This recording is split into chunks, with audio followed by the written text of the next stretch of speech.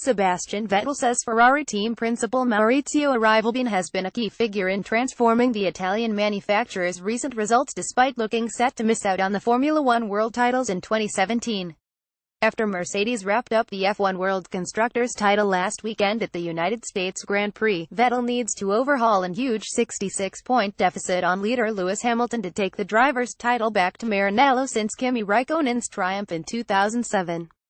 Despite the late-season frustrations, Vettel has been thrilled by Ferrari's 2017 gains on Mercedes and Red Bull, having led the Drivers' Championship up to the Belgian Grand Prix, and has defended team boss Arrivabene's influence after he recently came under fire.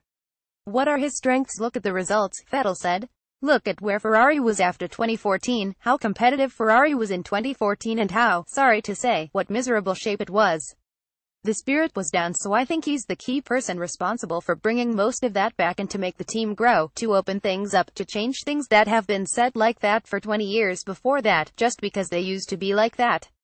So I think he has a very innovative and creative way of thinking. I think he's the right man, he's a very strong leader, I think he's well respected and I know he's well respected by all the people. If you look at a hierarchical way, no matter which level of the company, absolutely I'm a fan. Vettel remains confident F1 world titles are coming for Ferrari even though its recent reliability problems effectively ended its 2017 charge and is keen to see the team continue to build for the final three races of the year before heading into 2018.